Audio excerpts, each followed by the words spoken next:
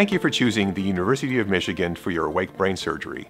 Over the next few minutes, we'll be giving you a brief overview of what to expect for your procedure. We understand the idea of undergoing awake brain surgery may seem frightening, and it is our goal, by providing as much advance information as possible, to reassure you before your surgery and smooth the course of your procedure and hospitalization. At the University of Michigan, we have a long history of providing advanced, compassionate, multidisciplinary care in an environment that puts patients and families first.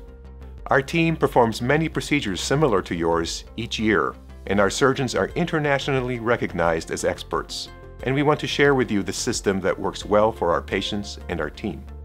Nothing is more important than your care, and at the University of Michigan, you can rest assured that your team of talented and world-renowned experts have you and your loved one's best interest in mind. You will have the opportunity to meet with your surgeon, anesthesiologist, neurologist, speech-language pathologist, and operating room nurse well ahead of your date of surgery, and they will be able to answer any additional questions that this video does not answer. When I ended up getting my surgery, um, about two months before, I started getting headaches on the right side of my brain about a week before I came into the hospital. There would be pretty severe headaches in the morning. My wife and I were at a casino one night and um, I was just very disoriented. I didn't feel well. I couldn't find my wife. I was walking through a food court and there were chairs everywhere and I was getting mad because people were leaving their chairs out and didn't realize it was me walking into the chairs. And so finally I had a scan and my doctor said, well, it's time for you to go to U of M. I was to the point where I couldn't express a lot verbally. Uh, so before my surgery and I was in the pre-op, I really was feeling, let's just get this over with. I don't remember having a lot of expectations prior to surgery. I just remember being in a lot of pain and wanting to have this done so I could get rid of the pain.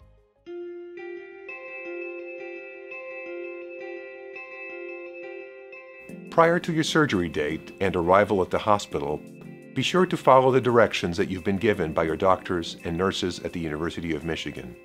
After your arrival to the hospital, please check in at surgical reception. After a brief orientation, you'll be asked to take a seat in the waiting area. Once your name is called, you'll be escorted to preoperative holding. Your companion will be allowed to accompany you to pre-op, but may be asked to leave the area briefly while some of the preoperative procedures are performed. Preoperatively, I do not remember very much. I do remember the team discussing kind of what the process was going to be. And that for me was very comforting.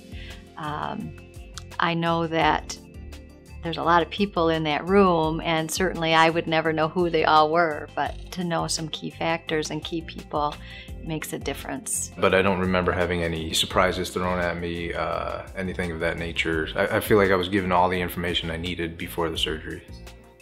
Once you reach the pre-op bay, a nurse will close the curtains and you'll be asked to wear your surgical gown and socks. At this time, you'll also be asked to get onto the stretcher. A series of safety check questions will be asked in pre-op and will be repeated during the various stages of your care. The pre-op team will take your vital signs, start an IV, and do other things in preparation for your surgery.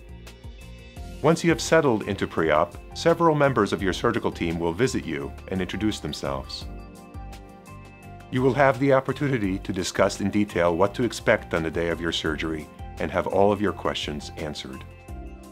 Once you have been through the pre-op process, your companion will be allowed to stay with you right up until you are transported to surgery. Just prior to transport, the anesthesiologist will give you some medicine to help you relax. You'll be transported from pre-op back to surgery by two members of your anesthesia team.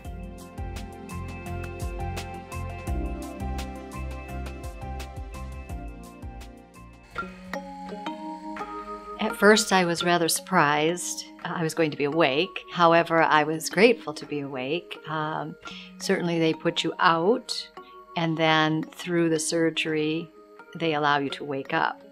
And then, with that moment of awakeness, I was able to work with my speech pathologist, and she was able to um, help guide the surgeon. I don't remember the initial surgery where they actually um, get into the tumor site and do the surgical cutting and things like that. I don't remember any of those things. Um, but I remember lying on the table and uh, I remember the doctor asking me questions um, related to my function. So he was asking, can you, can you move this you know, move your foot. Can you feel this on your finger? Can you just move different body parts to make sure he was not affecting healthy parts of my brain tissue he didn't want to affect? The bed itself, while I was having surgery, was very comfortable. Um, I I know that you can't see everyone, so to me that's a little awkward. But on the other hand, I'm not so sure I wanted to see everyone. While I know I must have been aware of my surroundings because I was having discussions and answering the neuro surgeon's questions, um, I don't remember having any pain or discomfort whatsoever.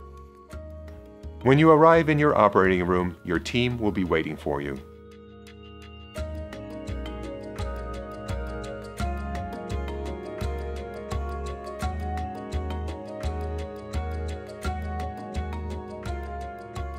You'll be transferred from the stretcher to the OR table then, monitors for your vital signs and padding will be applied to keep you comfortable.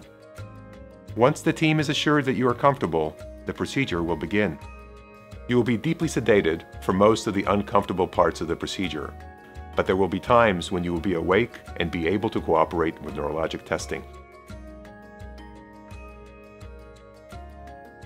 Remember, we do many of these specific procedures and the quality of your care is important to us. The entire care team will be with you during the whole process and will attend to your needs as they arise. While you're in surgery, your companions will be updated regularly.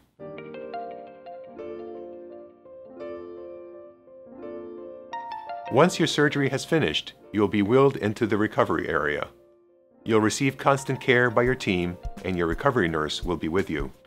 As you begin to regain consciousness, your healthcare team will do what they can to ensure that you're comfortable. Everyone reacts to surgery differently. Some patients experience very little pain, while others have significantly more. We will do our best to address your specific needs and manage your symptoms of pain and nausea during the postoperative period. Your journey will continue from here as you're admitted and allowed time to recover. You'll receive plenty of care and instructions to help during the entire process. Following my surgery, uh, I was, of course, taken to my room, and I recall, I think, maybe sleeping the first day or so. I, I don't really remember a lot there. I think the first thing I remember clearly is sitting up in a chair in my room, having a bad headache, and being concerned about if I sneeze or if I vomit from the anesthesia how am I going to be able to do that with my head hurting like this? I did feel a little bit sick following the surgery, but more from, I think, maybe the medicine. The pain I had after surgery was was nothing at all compared to the pain I had before the surgery. I had a good regimen of medications uh, to help with, I believe, post-operative swelling, uh, headaches, uh, potential for seizures. Staff treated me very kindly as far as nurses coming in, taking my blood pressure, or I know a couple of them had to um, maybe do something with my port. But, you know, all in all, I was treated very kindly. I don't think the team could have done anything better prior to, during, or after the surgery.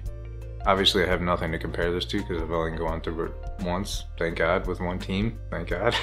I had great support from my husband um, and family members and things like that when I got home. So, um, as far as the total experience with all of those people, um, made me feel good. I wound up at the right place with the right people at the right time, and I think everything went as well as could be expected, and I'm here years later. I think that's pretty good proof. For patients that would have to go through the brain surgery that I just went through, um, all I could do is encourage them to have a positive outlook. Though it seems like a very terrible scenario, um, what do you have to lose? The surgery itself was not so scary. It was not so bad. The surgery I don't remember as being a bad part of my experience. I mean, I wouldn't be able to talk right now. I might not even be here right now had I not had that surgery. Stay strong and move on and take the best care of yourself as you can, and you get the best team and the best doctors and the best help you can.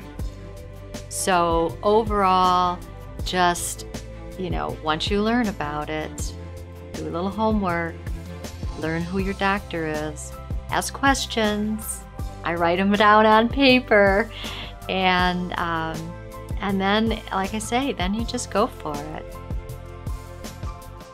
If you have any questions about your arrival, surgery, or recovery, please speak with any of the experts on your healthcare team. Thanks again for choosing the University of Michigan Health System.